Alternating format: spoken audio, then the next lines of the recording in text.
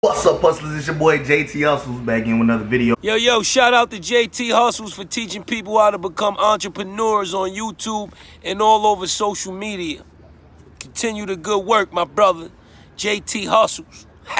this video is part two of if I showed you how to make five figures a month working for yourself, could you do it? I'm disappointed. Giving you the blueprint to get it out here, and you don't want to do what it takes.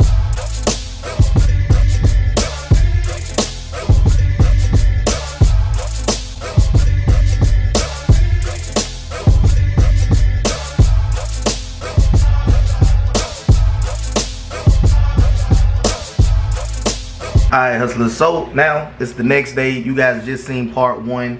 Uh, it is 8:10 a.m. Uh, my cousin is upstairs showering, getting ready. Uh, and today we're doing something totally different. Mike, how you doing? I was just calling to let you know I'm about to jump on the road and bring my cousin up to the new building to uh, to do whatever whatever need to get done today.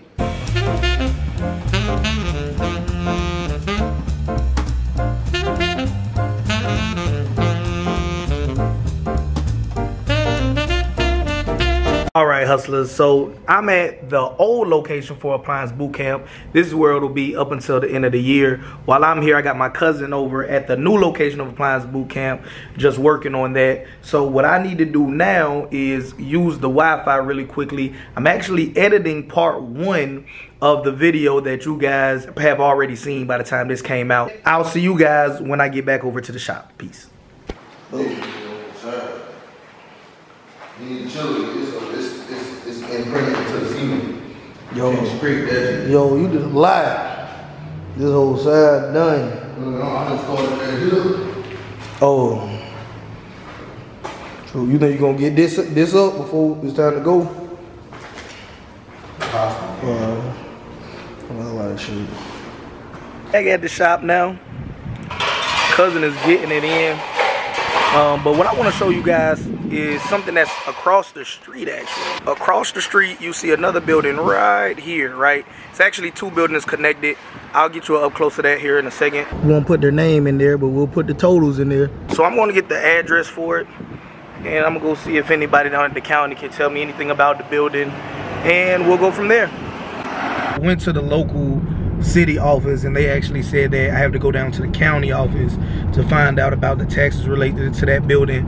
But I'm cutting it kind of close for time, so I gotta go get the kids and take them to trunk or treat. So we're gonna pick this up tomorrow and see if we can get an answer about that other building. The next day. So now we back at the house. I'm about to change really quickly and then we're gonna head up towards Mike Way. Cousin is downstairs. And I've also actually put this away, got off the phone with my accountant, and he just taught me something that I'm gonna go ahead and uh, teach my cousin as well. Whether he applies it now or in the future, it's something that I knew about, but I just didn't know exactly how to do it. So this is not uh, legal advice or accounting advice or anything like that, but um, this is just from my accountant. Before you try to do it, talk to your accountant and make sure everything is good. Man, I just talked to my accountant, man. This is something that he just taught me about moving money around. So he was like, man, you know how one business can loan money to another business. Like the bank ain't nothing but a business, but they can give you a business loan with interest. Right. You can do the same thing with your own money. But he was like, this the key right here though. He was like, man, you gotta give a promissory note from you to your business if you're gonna do it as an individual or from one business to another business. But if you file taxes and this business lent the money out to this other business,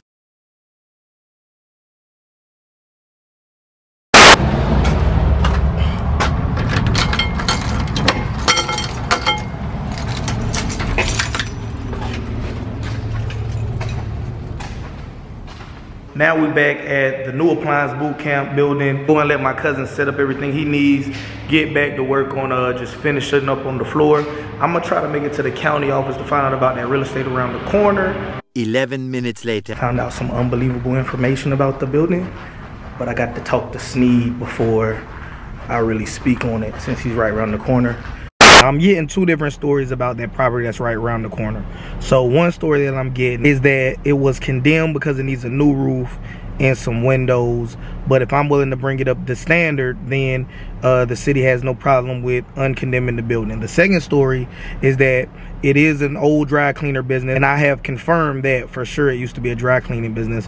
But they're saying some kind of chemicals were released in there, and now the EPA has to go out there and do their thing and decide if it's safe uh, for anybody to go inside that building or not. So uh, either it just needs a roof and some windows, or you got to wait for EPA to go through there and say if it's even safe for anybody to go in and do work or do anything with the building. So I'm unsure about which one of those stories are correct. The locals are saying that it's an EPA issue.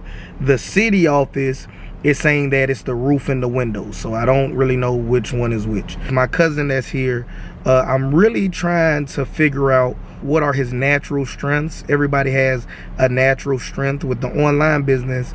Uh, it's it's pretty technical. I'll be honest with you. It's not unbearably technical, and it's not anything that everybody can't learn that's willing to put the time in. However, it is a little bit technical when you got to think about image quality, writing descriptions, pricing, optimizing those listings to make sure that your sell through rate stays consistent and you're making the money that you want to be making with it. When this kind of work, it's more just labor intensive, get simple instructions, uh, can you handle it? Now, honestly, when you talk about skills for the open market, not the job market, those more technical things that require you to think for yourself and be able to make good decisions, those opportunities usually are more lucrative than the just grunt work. I do want him to be able to do both I think that it's way easier to build on your strengths than it is to improve your weaknesses, especially early on. So if he gravitates more towards just the simple grunt work,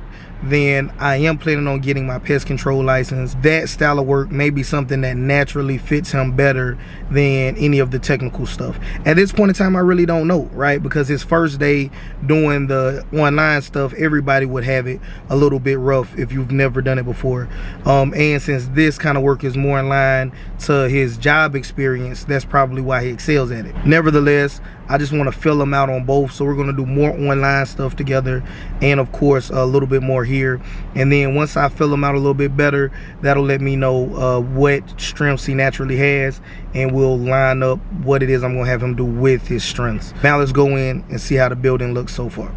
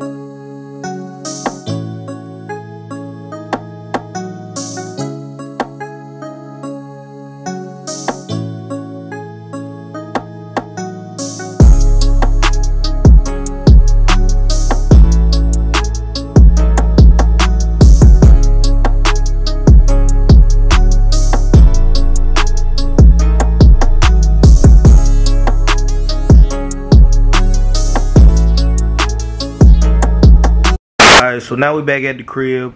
Honestly, today has been kind of like a boring day, pretty slow day. But uh, I don't want to try to add any like special effects or anything crazy in the vlog just to make it more entertaining only because I want you guys to see how it really was. So this was my day, pretty slow day. Um outside of that, came home to a package in the mail. So uh, got the new iPhone 11 as a Christmas gift. That was pretty much my day. Um, but for the benefit of everybody that watched this entire vlog this long, what I'm doing now is I'm updating Hustle Academy. There'll be linked to it down below.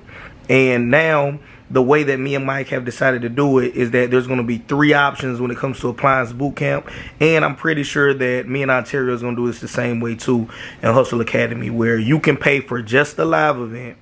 You can pay for just the online course or you can pay more for both of them. So now if you're somebody out there that wants to come to Appliance Boot Camp and you want access to the online course and to the live event, then uh, we don't have the exact dates yet for next year, but I'm going to go ahead and update it in Hustle Academy now.